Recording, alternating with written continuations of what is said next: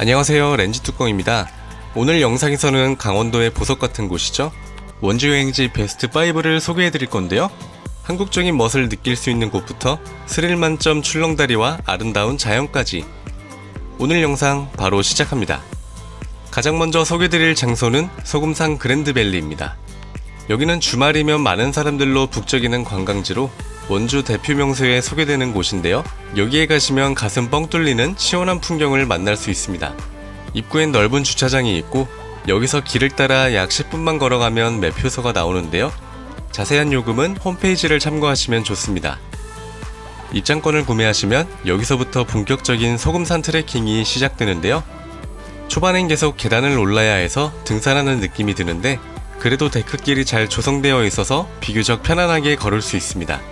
주변 풍경도 보고 자연의 향기를 맡으며 578개의 계단을 오르면 이렇게 널찍한 공간이 나오고 사진 찍기 좋은 포토존과 조형물이 곳곳에 있는데요. 가슴 뻥 뚫리는 시원한 풍경이 눈앞에 펼쳐지고 곧이어 엄청난 길이의 출렁다리가 등장합니다.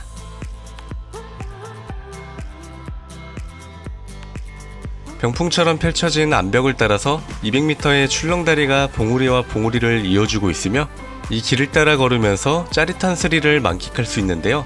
다리가 출렁출렁 흔들릴 때면 오금이 저리는 느낌을 온몸으로 체험할 수 있습니다. 출렁다리에서 울렁다리로 가려면 이렇게 잔도를 지나야 하는데요.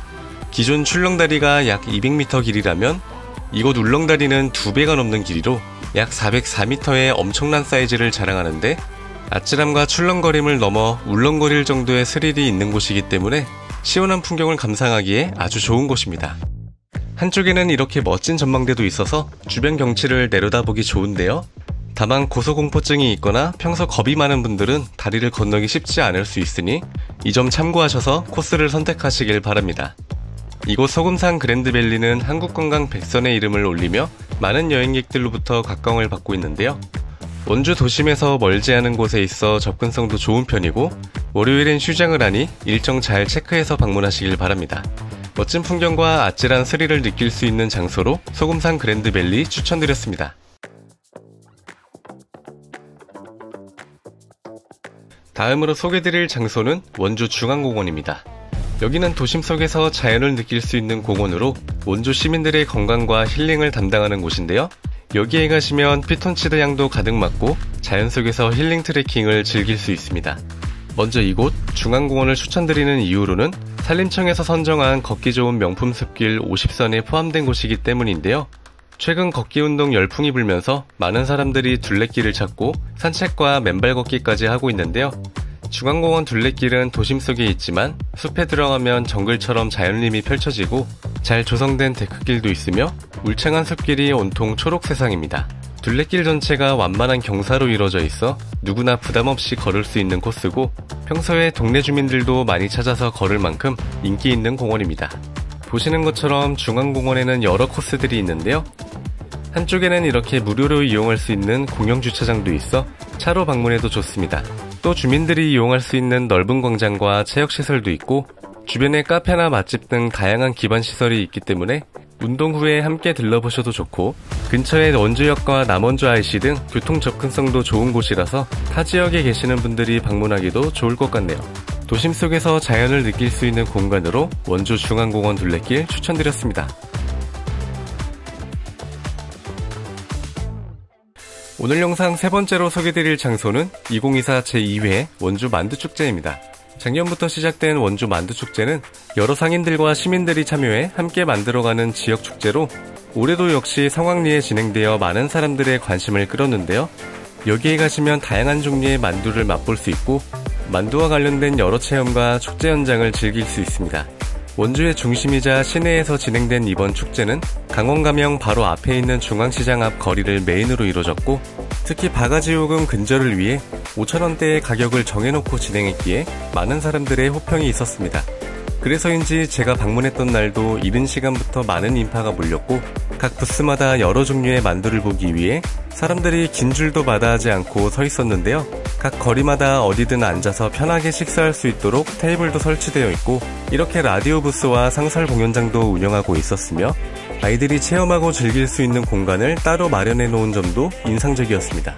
그야말로 나이 불문, 남녀노소 가릴 것 없이 모두가 즐길 수 있는 축제였는데요. 해가 저물고 하나둘씩 조명이 들어오자 현장은 더욱 활기를 띠었고 이번 축제의 하이라이트인 축하 공연 행사가 진행되었습니다.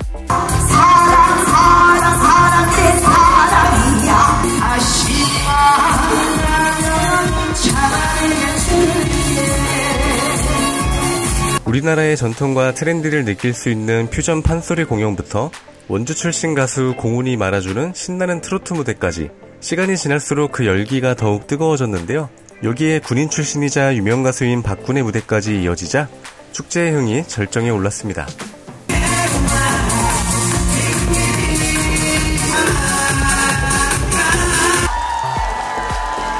특히 현장을 방문한 어머니 아버지들이 굉장히 좋아하셨는데요. 뜨거웠던 박군의 무대를 마지막으로 원두 만두 축제가 막을 내렸습니다.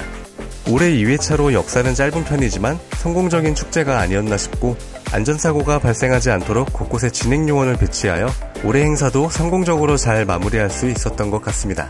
사실 각 지역을 생각하면 특산물이나 축제가 하나씩 떠오르기 마련인데 앞으로는 원주하면 만두축제가 떠오르지 않을까 싶고 2024년 성공적으로 진행되는 행사이기에 내년엔 또 어떤 모습으로 축제가 열릴지 벌써부터 기대되네요.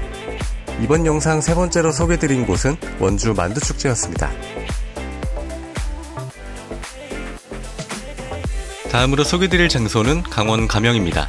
강원 가명은 조선시대 관찰사의 업무 청사로 요즘으로 치면 도청에 해당하는 곳인데요. 여기에 가시면 과거와 현대를 드나드는 시간 여행을 할 수 있습니다. 이렇게 지도를 보시면 강원가명은 원주 시내에서도 중심에 있으며 오늘날에 이르기까지 이곳을 중심으로 원주가 발전했다고 봐도 과언이 아닌데요. 도심 속에 위치해 있기 때문에 그만큼 접근성도 좋고 시민 누구나 무료로 관람할 수 있는 곳이기에 더욱 매력적으로 다가오는 것 같습니다. 강원가명 곳곳엔 고즈넉한 분위기가 가득하고 가만히 이 풍경을 보고 있으면 과거로 시간여행을 떠나온 기분인데요. 규모가 큰 편은 아니지만 한옥과 어우러진 주변 풍경들이 정말 멋지고 특히 후원으로 불리는 이 공간이 대박입니다. 자그마한 정원과 함께 연못을 가로지르는 목조다리가 소박하면서도 아름답고 물에 비친 한옥의 모습을 보고 있으면 수백 년 전에 이곳 풍경을 보는 것 같은데요. 화려하진 않아도 부족하지 않고 소박하면서도 우리의 멋이 있는 그런 공간입니다. 곳곳에 사진 찍기 좋은 포토존도 있고 이렇게 낮에 와서 보더라도 정말 멋있는데요. 사실 이곳의 하이라이트는 바로 야경입니다. 어둠이 내리고 조명이 들어오면 화려한 빛이 주변을 밝히고 연못에 비친 모습이 영화 속 한 장면을 보는 듯한데요. 가만히 앉아서 보고만 있어도 좋은 풍경이고 서울의 궁궐들과 비교해도 전혀 부족하지 않은 야경입니다. 여긴 분위기도 정말 좋기 때문에 데이트하는 커플도 많이 보였고 여기서 웨딩 사진도 가끔씩 찍는다고 하는데요. 그만큼 아름다운 풍경이 가득한 곳이라 원주 여행지로 강력 추천드리고 싶습니다. 아까 소개드린 만두축제 현장 바로 앞에 있어서 겸사겸사 함께 들러보셔도 좋고 이렇게 국화 축제 기간에 맞춰서 방문하셔도 좋을 것 같네요. 오늘 영상 마지막으로 소개드릴 곳은 치악산 자락에 있는 구룡사입니다. 구룡사는 깊은 역사와 함께 아름다운 자연이 있는 곳으로 유명한 명찰인데요. 구룡사는 신라 문무왕 8년에 의상대사가 창건하여 9마리 용과 거북바위의 전설이 깃든 곳으로 매년 많은 사람들의 발길이 이어지고 있습니다. 오래된 역사와 전설만큼이나 고즈넉하고 멋진 풍경이 곳곳에 있는데요. 바람에 흔들리는 나무와 졸졸 흘러가는 계곡물은 물론이고 가만히 보고만 있어도 아름다운 모습들입니다. 수령이 오래된 은행나무도 있으며 사찰 특유의 고즈넉한 분위기 덕에 조용히 산책하며 사색하기도 좋은데요. 특히 구룡산은 차를 타고 경내 앞까지 들어갈 수 있어서 다리가 불편한 분들도 쉽게 접근할 수 있고 꼭 등산을 하지 않더라도 주변에 아름다운 자연이 가득해서 멋진 풍경 보면서 힐링하기 정말 좋은 곳입니다. 산책길을 따라서 이렇게 단풍과 은행도 만날 수 있으며 사진 찍기 좋은 포인트도 곳곳에 있어 강력 추천드리고 싶으며 원주 여행할 때 이곳 구룡사도 꼭 들러보시길 바랍니다. 오늘 영상에서는 제2회 만두축제와 함께하는 원주 여행지 총 5곳을 소개해드렸습니다. 여행하기 좋은 원주에서 멋진 추억들 많이 쌓으시길 바라고 저는 더 좋은 영상으로 찾아뵙겠습니다. 감사합니다.